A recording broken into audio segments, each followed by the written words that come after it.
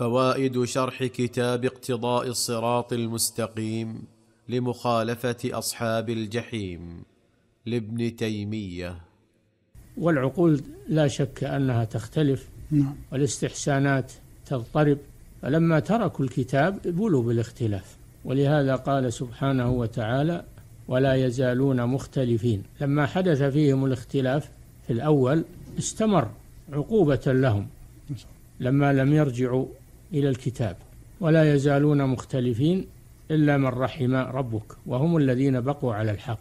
فهؤلاء رحمهم الله سبحانه وتعالى فبقوا على الحق. وهذا كما في الحديث وستفترق هذه الأمة على ثلاث وسبعين فرقة كلها في النار إلا واحدة. قالوا من هي يا رسول الله؟ قال من كان على مثل ما أنا عليه اليوم وأصحابي.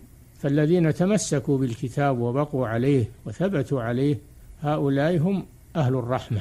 وأما الذين اختلفوا في الكتاب فهم أهل العذاب والشقاق البعيد. وإن الذين اختلفوا في الكتاب لفي شقاق. لفي شقاق بعيد يعني ليس قريبا. وهذا دأب كل من خالف الكتاب والسنة في كل زمان ومكان فإنه يبتلى بالإختلافات الكثيرة والمشادات والمنازعات والخصومات ولا ينتهي أمرهم إلى شيء لأنهم لم يبنوا على أصل. لما تركوا الحق ابتلوا بالباطل. والله جل وعلا يقول ذلكم الله ربكم الحق فماذا بعد الحق إلا الضلال؟ فأنا تصرفون. فالذي يريد الوفاق والاتفاق يتمسك بكتاب الله ولذلك أهل السنة والجماعة لم يختلفوا بينهم. نعم. ولله الحمد.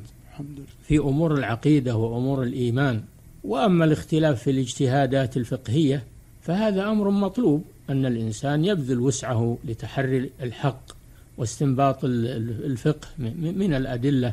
فإن أصاب فله أجران وإن أخطأ فله أجر واحد والخطأ مغفور. الحمد لله. لكن إذا تبين له الخطأ أو لغيره فعليه الرجوع إلى الصواب.